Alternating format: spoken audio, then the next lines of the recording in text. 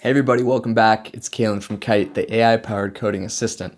These days, you probably know AI is almost everywhere that you look, from tailored ads on your Instagram to the familiar voices that perk up when you say, Hey Alexa or OK Google. Allegra, what is the weather outside? It is 74 degrees and sunny. Huh? It is 74 degrees and sunny. Where? Outside. What about it? The temperature outside is 74 degrees and sunny. I don't know about that. AI is coming to know us like a best friend or perhaps a stalker. Hey Alexa, play the theme song to The Office. In today's video, we're going to use a pre-trained convolutional neural network called the Speech Emotion Analyzer to detect the emotions of two characters from the popular TV show The Office. The link to the original model is available in the description below. We'll classify emotions into five categories angry, calm, fearful, happy, and sad. And we'll see whose emotions are easier to predict the regional manager or the assistant to the regional manager. First, let's cover some background on signal processing.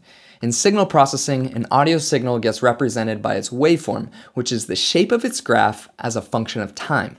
When processing the audio waveform, we convert it to a representation of the frequency response, which is a machine readable structure, and this allows us to extract features. We choose a range from 20 Hz to 20,000 Hz because this is the range that our ears can pick up. After we extract the features using a technique known as Mel Frequency Cepstral Coefficients, or MFCC, we pass them to a convolutional neural network, or CNN for short.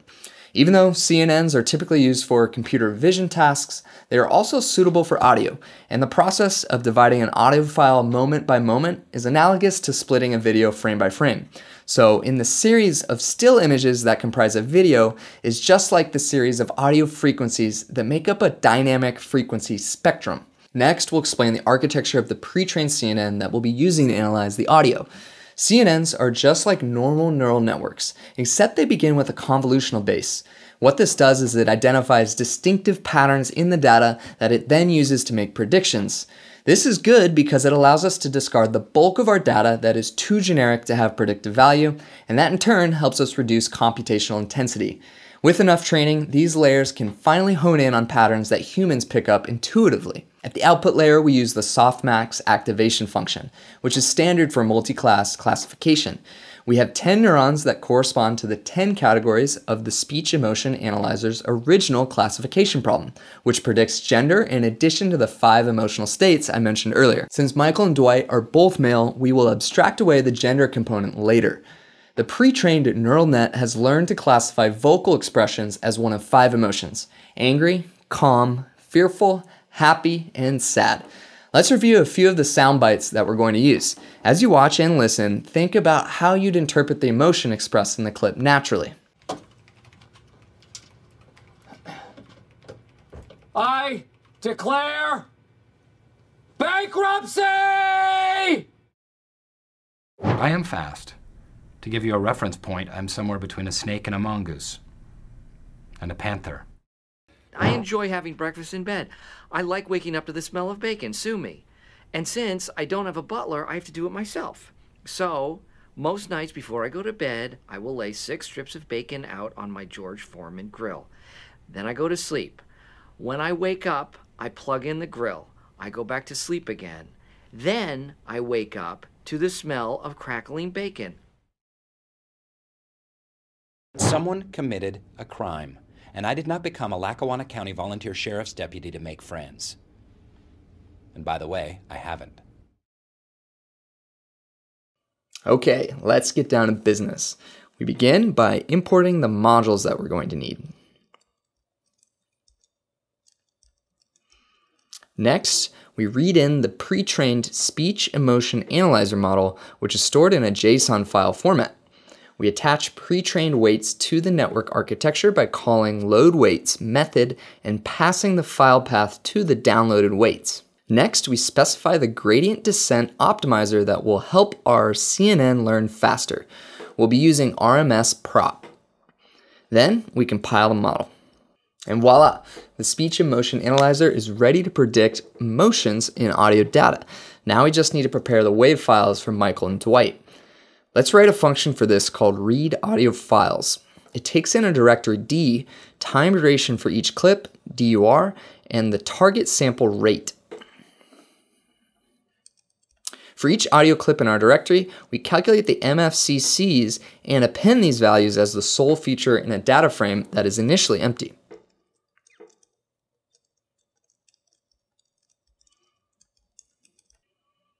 Last, we fill in the NAs with zeros, so our audio clips, which are of different durations, all have the same dimensionality. That's to say, we do this to avoid error messages. Now that we've defined our function to extract features, let's call it.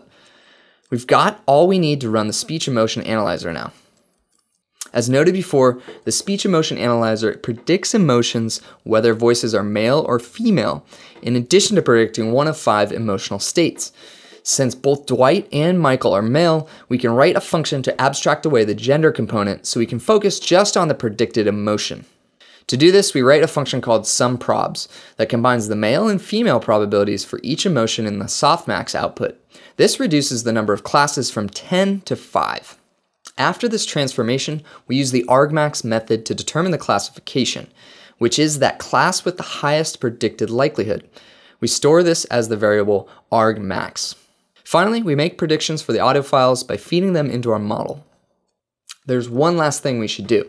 Our predictions are currently rendered as integers, which don't intuitively indicate emotional states for us. So let's restore the emotion labels so humans can interpret our results more easily. For this, we write a function called inverse transform.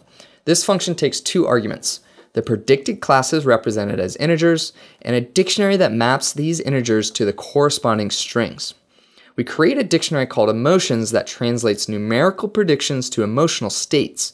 We're going to pass it along with argmax to the inverse transform function. Now all we have to do is call inverse transform and we'll see our predictions rendered as strings.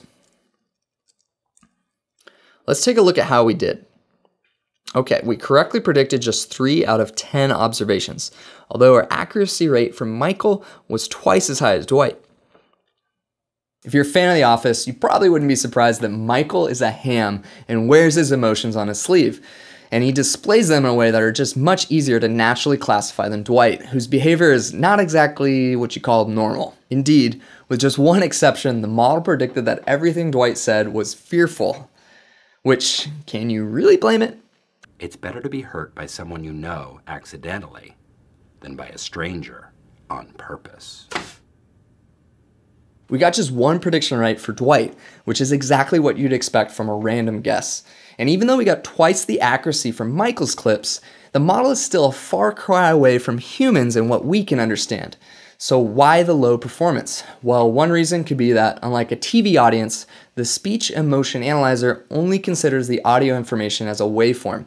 And what this means is the model does not consider the facial expression shown, nor the meaning of the words expressed.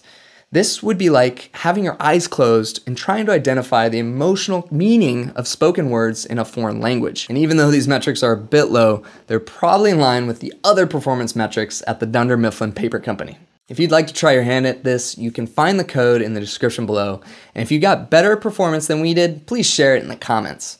But before you begin, save yourself the time, save yourself the energy, and save yourself from the office induced carpal tunnel syndrome with Kite the AI autocomplete for Python. It has intelligent snippets which automatically rank code completions using all the documentation on the web. So happy coding and stay tuned for more. Don't forget to like, comment, and subscribe. We'll see you in the next video.